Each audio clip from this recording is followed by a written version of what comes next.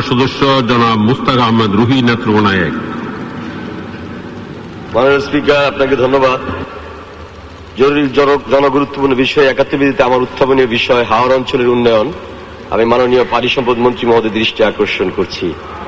মাননীয় স্পিকার, প্রত্যন্ত অঞ্চল তথ্য প্রযুক্তি আওতায় এনে ডিজিটাল বাংলাদেশ গড়ার লক্ষ্যে হাওড় দূষিত নেত্রকোনা কিশোরগঞ্জ, সুনামগঞ্জ, হবিগঞ্জ জেলার এক কোটি জনগণকে ই গভর্নেন্স ও প্রত্যন্ত গ্রাম ও হাওড় অঞ্চলকে উন্নয়ন কর্মসূচির আওতায় কৃষি ব্যবস্থাপনার আধুনিকরণ উন্নয়ন ও কৃষি ভৌমিকীকরণ প্রকল্প বায়ু বিদ্যুৎ প্রকল্প, কমিউনিটি রেডিও টেলিসেন্টার স্থাপন, জীববৈচিত্র্য সংরক্ষণ, নাব্যতা বৃদ্ধির লক্ষ্যে খনন কর্মসূচি, জীবনযাত্রার মান উন্নয়নের লক্ষ্যে নতুন কর্মসংস্থান, প্রশিক্ষণ, মানসম্মত শিক্ষা নিশ্চিতকরণ, যাতায়াত ব্যবস্থার অবকাঠামো উন্নয়ন, নিরাপদ পানি পয় নিষ্কাশন, শিশু মাতৃসেবা নিশ্চিতকরণের জন্য প্রকল্প গ্রহণ করা জরুরি।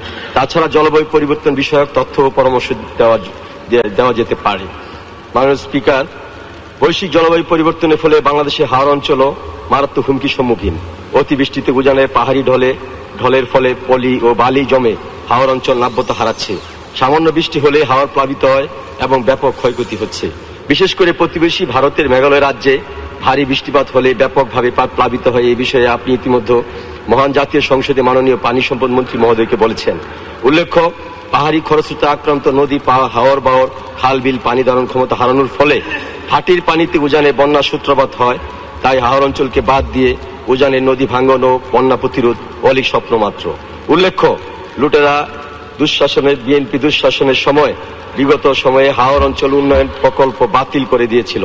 এই গুরুত্ব বিবেচনা করে মাননীয় প্রধানমন্ত্রী জননেত্রী শেখ হাসিনা হাওর অধিদপ্তরকে নতুন- আঙ্গিকে কার্যকর করার পদক্ষেপ নিয়েছেন। এই জন্য মাননীয় প্রধানমন্ত্রীকে আমি আন্তরিক ধন্যবাদ জানাই। মাননীয় স্পিকার পার্টির সদস্য।